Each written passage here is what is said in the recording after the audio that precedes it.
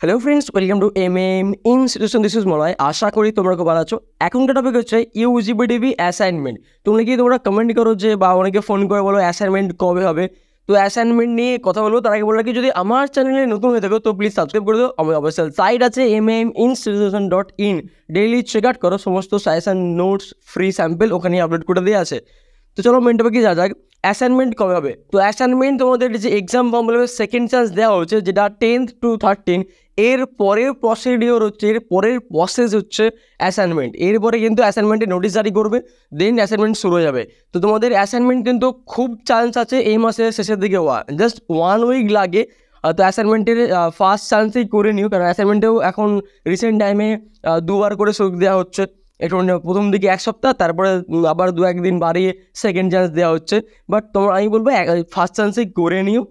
Assignment তবে এই মাসের লাস্টের দিকে হওয়ার চান্স অনেক অনেক অনেক বেশি আছে। সমস্ত প্রসেসটাকে মাথায় রাখলে দেখতে পাওয়া দেখতে পাওয়া যায়। এই মাসের অ্যাসাইনমেন্ট তোমাদের হওয়ার চান্স অনেক বেশি আছে। কারণ কি এই মাসে কমপ্লিট করতে না পারলে তোমাদের নভেম্বরে পরীক্ষা হবে না। আর নভেম্বরে পরীক্ষা না হলে সেশন করবে না। তো অনেকটা চান্স আছে এই মাসে অ্যাসাইনমেন্ট হওয়ার। তো মেন্টালি প্রিপেয়ার থেকো অ্যাসাইনমেন্ট কিন্তু খুব শীঘ্রই খুব নয়, খুব খুব খুব শীঘ্রই পাবলিশ হতে চলেছে। এটা ওই ছোট্ট একটা আপডেট আর যদি কেউ যদি আমাদের নোট কিনতে যাও নোটের স্যাম্পল স্ক্রিনে দেওয়া রইল আর ফোন নাম্বার দেওয়া রইল, চাইলে তোমরা কন্ট্যাক্ট করতে পারো। আমরা নোট দেওয়া শুরু করেছি অনেক দিন আগে থেকেই পড়াশোনা করতে হয়, পড়াশোনা জানিয়ে রেখো।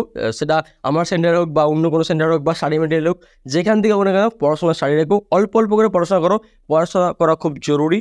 আর এরপর তোমাদের পুজো আছে, পড়াশোনা করতে মানে করা টাইম পাবে না চান্স পাবে না। তাই এখন থেকে অল্প অল্প করে এই মাসটা পড়ো ভালো করে।